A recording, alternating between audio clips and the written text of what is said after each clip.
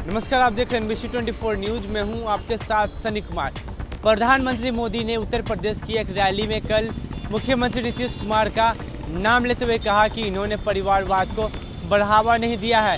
साथ ही साथ जॉर्ज फर्नांडिस और भी महापुरुषों के नाम लिए, कई नेताओं के नाम लिए जिन्होंने कभी भी परिवारवाद को बढ़ावा नहीं दिया राजनीति में।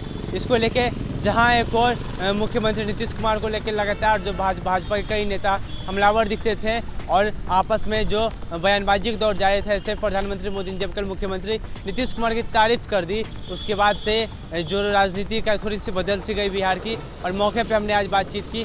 भाजपा प्रदेश अध्यक्ष संजय जायसवाल से उन्होंने क्या कुछ बताया? मुख्यमंत्री नीतीश कुमार को लेकर प्रधानमंत्री को दिए गए इस बयान को लेकर के, साथ ही साथ एक और जो मामला है, उत्तर प्रदेश में पहले चरण का मतदान, और उसमें काफ़ी संख्या में लोगों ने बढ़ चढ़ कर हिस्सा लिया, और काफ़ी मतदान होने के बाद क्या कुछ उम्मीद है भाजपा को तमाम चीज़ों को लेकर के? क्या कुछ बता रहे हैं डॉक्टर संजय जायसवाल? आए आपको वो सुनाते हैं।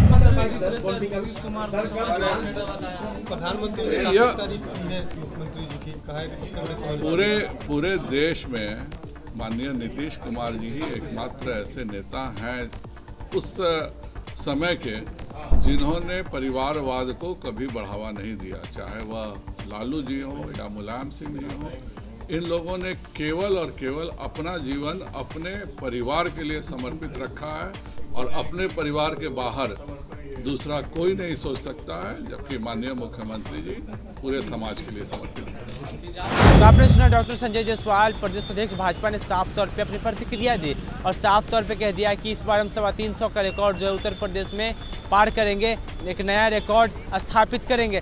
साथ ही साथ मुख्यमंत्री नीतीश कुमार को लेकर भी कहा कि उन्होंने परिवारवाद को बढ़ावा नहीं दिया राजनीति में रहते हुए, बाकी चाहे राजद सुप्रीम लालू प्रसाद यादव हो या फिर मुलायम सिंह हो, ये सभी लोगों ने परिवारवाद को बढ़ावा दिया। नतीजा ये है कि लालू प्रसाद यादव के दोनों बेटे, यानी कि तेज प्रताप यादव और तेजस्वी यादव दोनों राजनीति में है। अखिलेश यादव, मुलायम सिंह के बेटे राजनीति में है और एक बार मुख्यमंत्री भी रह चुके हैं। ऐसे में साफ़ तौर पर संजय जायसवाल ने हमलावर हमला हमला किया है। लालू प्रसाद यादव और मुलायम सिंह यादव को लेकर परिवारवाद को लेकर राजनीति में।